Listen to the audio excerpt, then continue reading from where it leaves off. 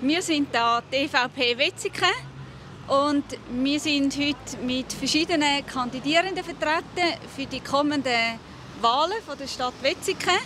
In einer Woche ist ja die Abstimmung für Kinder ohne Tabak und im Zusammenhang mit deren Initiative ist das ganz ein wichtiger Tag für uns eigentlich heute.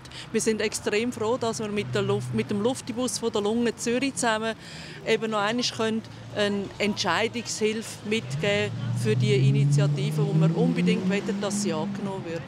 Ich bin vom Luftibus Lunge Zürich. Wir machen sonst normalerweise Lungenfunktionsmessungen. Heute sind wir da für Kinder ohne Tabak, Werbung für die Initiative für ein Jahr. Jugendliche werden bis zu 70 Mal am Wochenende, am Samstag oder Sonntag, mit Tabakwerbung konfrontiert. Und jetzt wird man das ähm, in den Kinos und ähm, in den Plakaten verbieten, aber Social Media lässt man einfach offen. Und heute ähm, ist das eigentlich der wichtigste Werbeträger.